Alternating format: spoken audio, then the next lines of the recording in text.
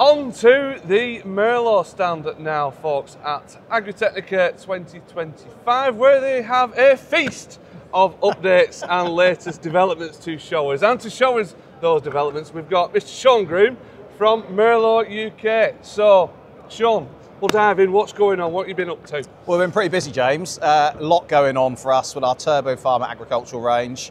The Turbo Farmer range has been out since 2015, been very successful for Merlo across the UK and Ireland, but we always keep evolving, and part of that evolution we got on here display at Agritechnica this year. We won't see it immediately come to the market. It's two years every Agritechnica, so we're showing updates that we'll see before the next Agritechnica. So most of this will hit the market next year in 2026. Right, so what so, we're seeing now is going to get gradually phased out over those next yeah. year, two years. Yep, right. yep. So it, it, won't come into the market until about the middle of next year. Yeah. But we're obviously using this as an opportunity to show what's coming down the yeah. line, particularly for the existing Merlo customers, but also those maybe users of other brands that can see our future direction with yeah, the product. So that's it. Yeah. Get them convinced. Absolutely, it's what it's all about. So, so, what, what have you been doing then? So, uh, probably the biggest visual difference, if you recognise the Turbo Farmer, is that the plastic mudguards are going. Right. Uh, and we're going back to, and I don't want to use the phrase ring of steel, but invariably it's linked to Merlo, and yeah. it's difficult to get away from it. But those that remember uh, machines prior to 2015 will remember that Merlo had a ring of steel, a solid bar around the machine mm. that protected the machine uh, and listening to our customers, working with our customers in agriculture, uh, the overall demand was to see that back on the machines. Definitely, yeah. So we've reintroduced uh, this tubular uh, uh, bar concept around the machine here with steel plate mud guards, very robust. Protection for the new LED headlights as well. So right. Uh, we've got good protect protection there. Um, integrates well to the machine, uh, right down here in front of the cab, so it stops any road spray up the windscreen, keeps yeah, yeah. the windscreen nice and clean. You know, let's face it, the UK, we're, we're not the driest and warmest climate, no, no, so no. mud and rain and so on is, is, is, is well known to us. So big step uh, direction change there, yeah. front and back. We've got those those. And this is a modular piece, so this chunky. Yep that's bolt on. Bolt like on. Say, it's not like the full. Bolt on. So yeah. if the worst happens and you manage to do something serious this and you bend it, yeah. you can unbolt it and straighten it. That's it.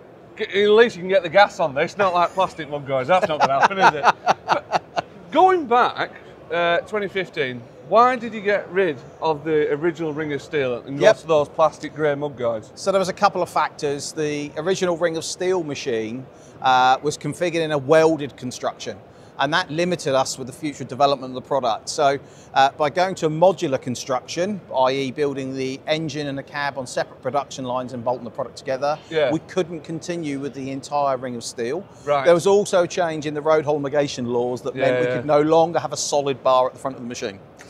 Even though the rest of the machine is a big solid lump. Absolutely. so the ring of steel's back, it's different to what it was, but it now meets those, those rules. Yeah.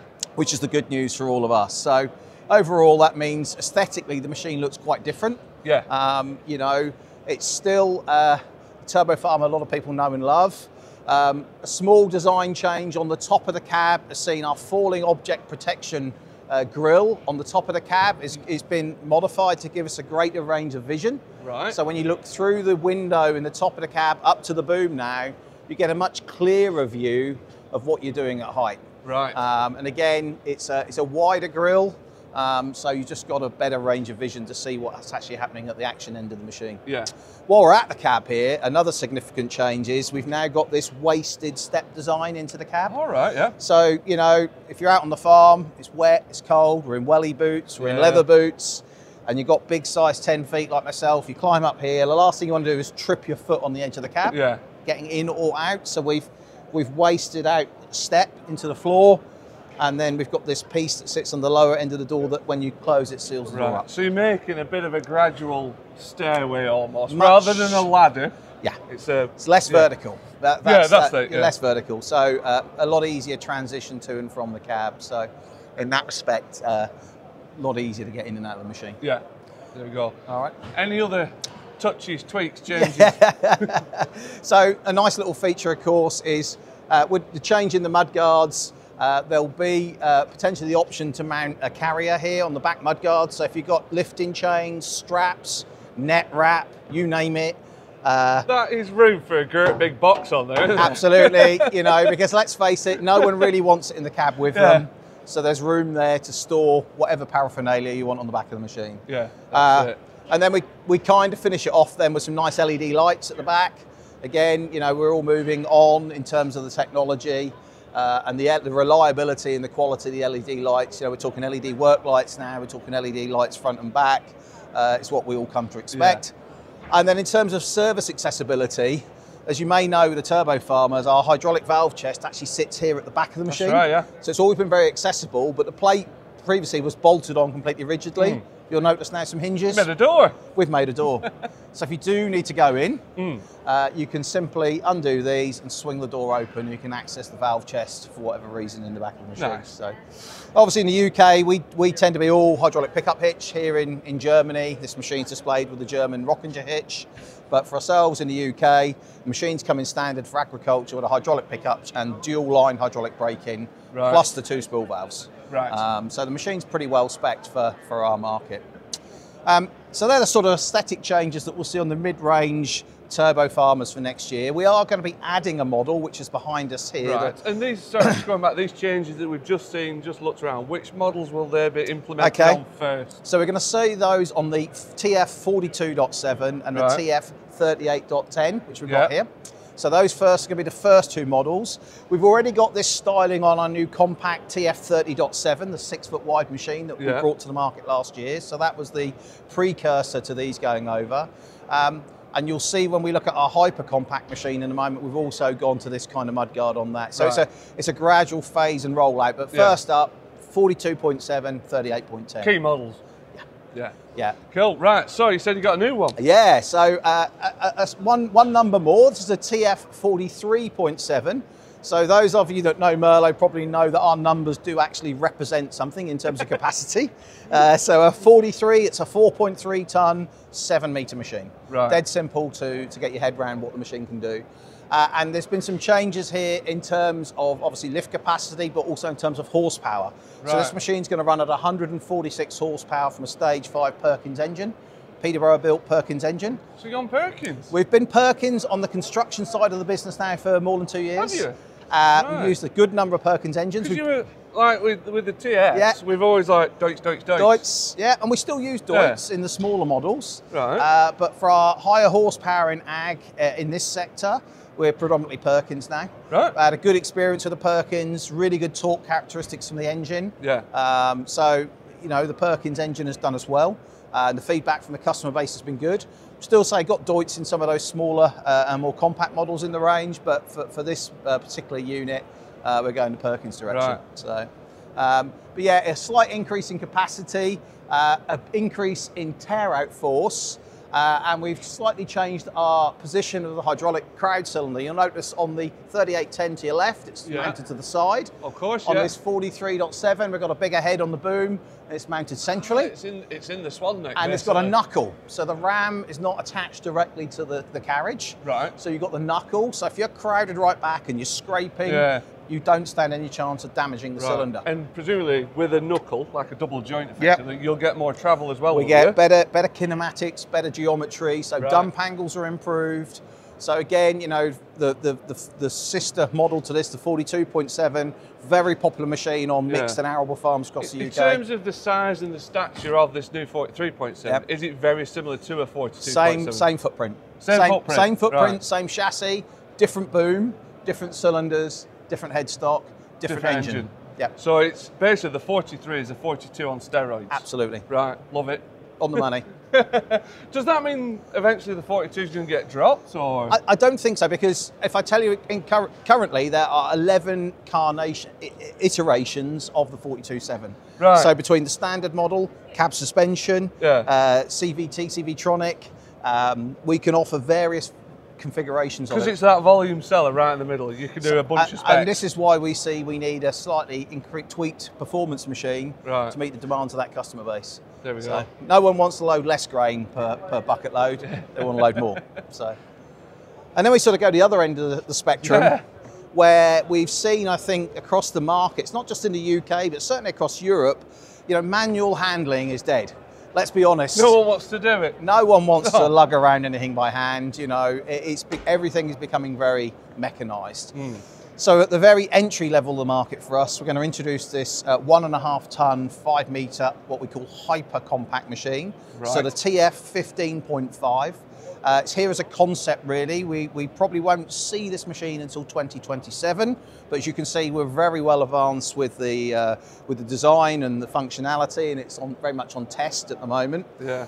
you know, we see an application for this, of course, in farming, but we also see a bit of a crossover application for landscapers, fencing contractors, garden centres, Definitely, councils, and so on. We've you know? seen a bit of an influx of these model, this size of machine that you can throw on, you know, a trailer. Absolutely. Half- you took it on Ifor Williams trailer, you're not overloaded. Yep. Even with an attachment. So that's the whole idea that this will be trailer towable, Yeah. three and a half tons total gross with the trailer.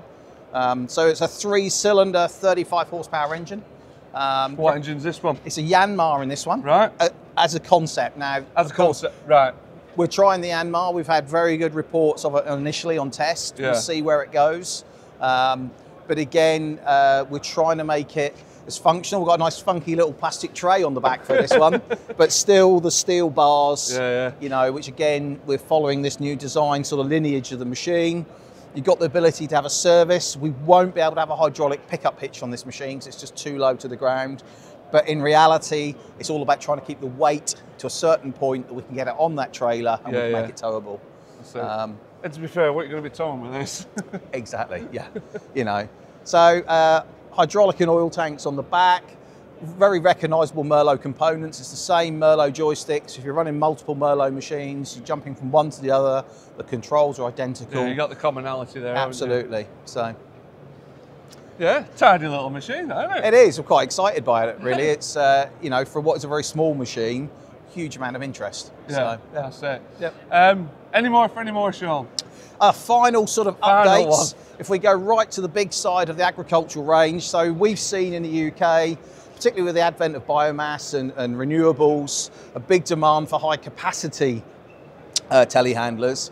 And our 65.9 is our six and a half ton, nine meter telescopic handler, which has been uh, well received by those in that sort of bulk material market. We've got it here at the back of the stand. It's attracting a lot of interest this morning already. already. We've Yeah. started this yeah. morning.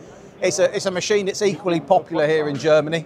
Um, you know, and if you're looking to uh, potentially increase your output, looking to load lorries quicker, you know, we could fit a four ton grain bucket on this machine. Right. You know, so seven or eight bucket loads and you've filled an Arctic. Yeah. You know, uh, and this machine, we've updated the kinematics on the headstock.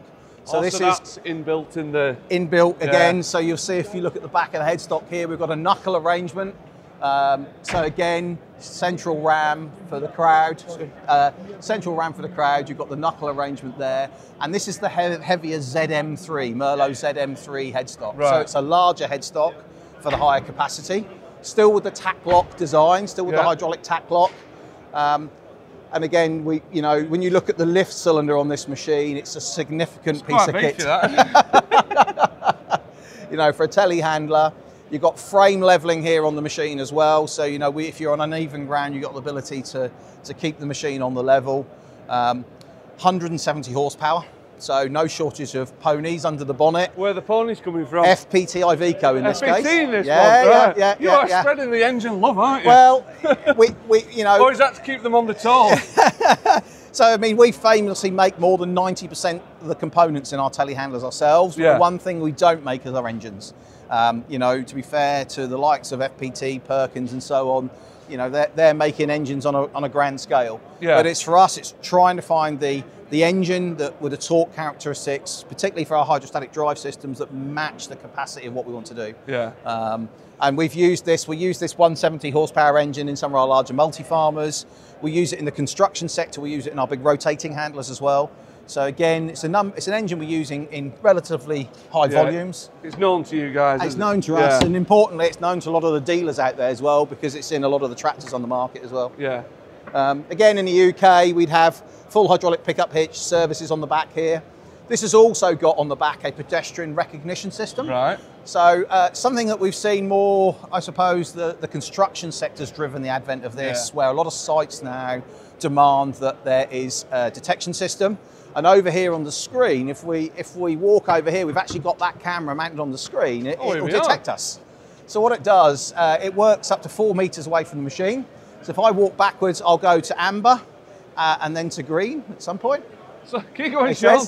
Oh, I'm all in red this morning. I'm over here. Let's go outside four meters. Right, go on. There, we go. So, So I'm, I'm. I'm at a safe distance. As I get closer, I come into the danger zone. Uh, and then ultimately, this system, you can set a parameter as an operator on this system to stop the machine moving. All right, So- without you intervening. So if you want a safe zone, say of two meters, Yeah. you can set two meters into this. And when it reaches two meters, it will stop your direction of travel. It won't Right. stop the engine, it'll just stop you moving.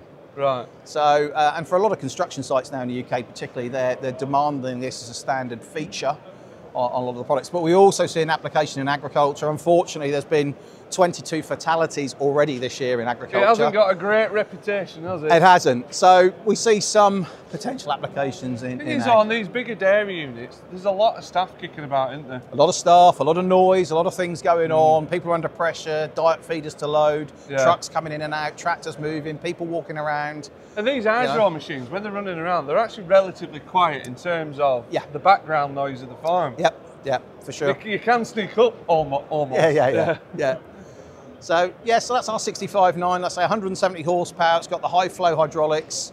This is a CS model as well with the cab suspension. So Merlo are the only manufacturer, telescopic handler manufacturer with full true cab suspension. So fully hydraulic suspension. It's right in its lowest position here for the show today. You've got Yeah. a rocker switch on the dash.